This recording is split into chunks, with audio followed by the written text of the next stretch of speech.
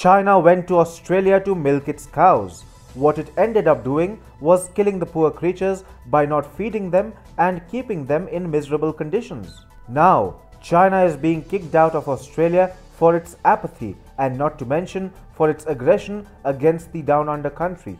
The ghosts of the cows killed by China in Australia are coming back to haunt Xi Jinping.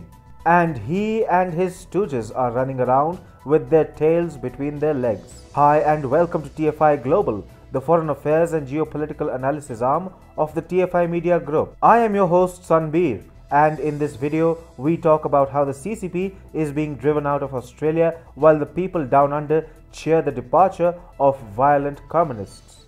As luck would have it, China is being kicked out of every single sector in Australia in its ambition to colonize the down under country, China had enthusiastically acquired the Van Dairy Group for a cost of $280 million in 2016. Now, however, the Chinese owners are being given rather extravagant kicks out of Australia. After having been called a gum which is stuck to China's shoe, Australia is now showing the Chinese Communist Party how it uses its own shoes to land some major kicks right on Xi Jinping's temples.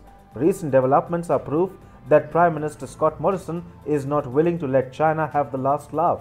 And so, Australia and its people are now witnessing the embarrassing exit of Van Dairy Group's Chinese owners. On paper, Australia's biggest and oldest dairy conglomerate was acquired by Moon Lake Investments and its owner Xianfeng Lu. The sale of Australia's oldest dairy farm group to the Chinese came after Van Diemen's Land Company was listed for sale in 2015 and subsequently sold to Moon Lake Investments in 2016. Interestingly, the sale of the dairy conglomerate was overseen by the then Treasurer and now Prime Minister Scott Morrison. Truth be told, Morrison made a mistake in 2016, but fear not, he is now determined to destroy China and its interests in Australia. It is therefore no coincidence that as China flexed its non-existent muscles against the down under country, Canberra turned its eyes towards the Van Dairy Group and the rather overt Chinese involvement therein.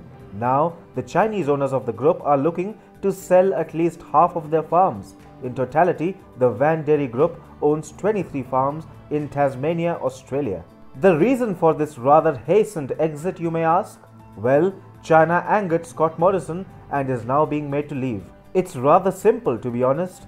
The Australian government, in the hope of not souring relations with Beijing, was turning a blind eye to the malpractices and an all pervasive apathy which prevailed in the farms owned by the Van Dairy Group ever since the Chinese took over it.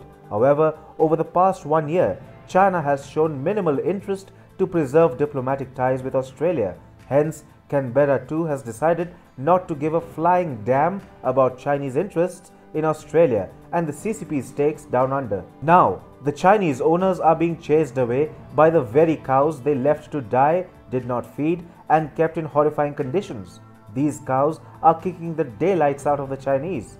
Australians, seeing pictures of the conditions prevalent in the farms ever since China took them over, have been calling for the federal government and authorities to save the animals in the farms from the monsters that have come to own them since 2016. Confidential documents, photographs, and accounts from employees and locals obtained by the Sydney Morning Herald and The Age reveal that conditions at Tasmania's iconic Van Dairy Farm, comprising of 23 farms and 30,000 cows, have been deteriorating since its 2016 takeover by China's Moon Lake Investments. The reports and investigations, apart from inspections by authorities, have found farms in disrepair with effluent overflowing as drainage systems fail to cope with the number of cows on the properties.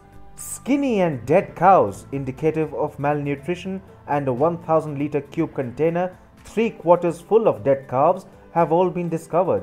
This in complete contrast of the Chinese farms claiming on their websites that their products are absolutely fresh and procured first as milk from healthy cows grazing on lush green pasture in the purest place on earth.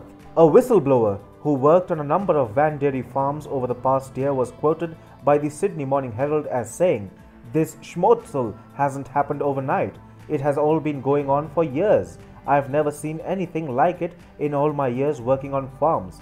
it's a total balls up. Such apathy towards the cows of Australia by selfish Chinese owners has led to the ouster of communists from Australia's dairy industry. Australia is about to wrest control of the Van Dairy Group soon as the country forces CCP stooges to exit and commit their monstrous acts back home for which too they will be held accountable one day.